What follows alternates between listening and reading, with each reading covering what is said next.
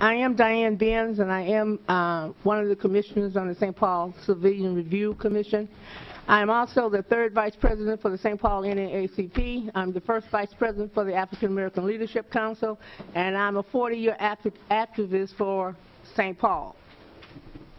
Go ahead with your testimony. And I have concerns, and what I wanted to do for myself uh, today, since for the sake of time, is talk about certain pieces of the bill. And I have to say, uh, Madam Chair, uh, the Scott bill is the is not the dream bill that I would like, but it's the best bill I've seen so far.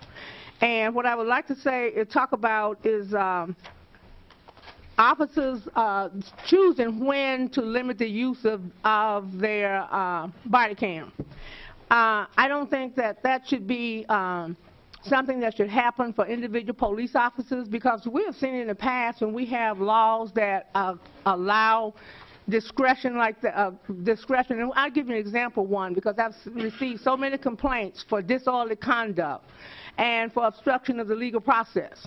And everybody can determine, officers determine that different officers do different things.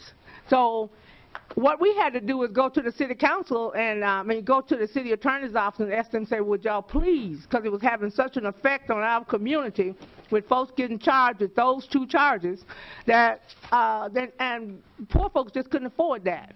So I say you can't allow, and that's an experience we had. We've been had we had that experience about 10 years before, and now it doesn't seem to be a problem because the city attorney wasn't char- is not charging those charges, but they're still on the book. And we just had one that came for the civilian um, review commission, and where we decided that the officer didn't make a mistake, the policy did. I mean, the policy was vague. So what I'm saying is I believe that there should be concrete policies that define when those cameras go, go on and what kind of uh, situations they go on in. And what we were looking at is that any encounter, any encounter with uh, police that may become confrontational, uh, enforcement, arrests, stops, and frisks. Uh, because uh, we know that out of those, usually out of those times of uh, encounters, we have uh, other things that can happen. The situation gets out of hand. Uh, there have been those kind of traffic uh, traffic stops where several African Americans have been getting killed all over the country, and just stops in general, uh, even here in St. Paul and Minneapolis where there have been deaths as a result of that.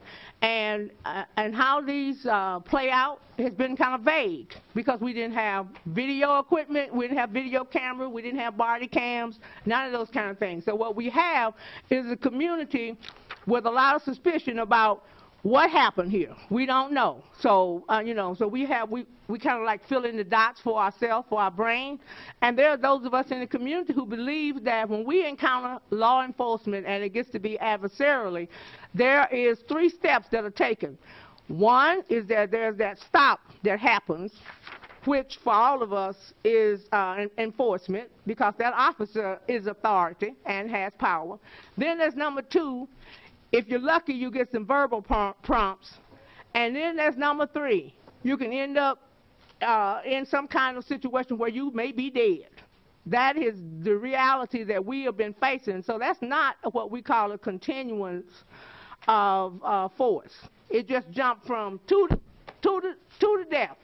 And, and so we can't continue to have those. So that's why we wanted the uh, body cams for transparency and also for accountability. And we know that statistics tells us that uh, when you have the body cams in places where they have them 80% of the complaints against police go down. 60% of the conduct of folks who are encountered by the police or get into a conversation with the police has been has went down by 60%. So those are some things that we need to look at. So that was one of the concerns that I had. And then we talked about when to, we, we're concerned about uh, when these videos should be flagged. Um, and who's doing the flagging? I think, in my opinion, too much is left up for police to do. Police can't police police.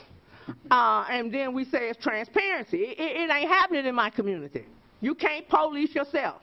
So there needs to be uh, some type of, and And I, I'm, I'm reason I say that because, um, God, I worked for the government for 35 years, and I worked for the government. I was a government employee, even though I was a parole officer, and even though I worked in the jail.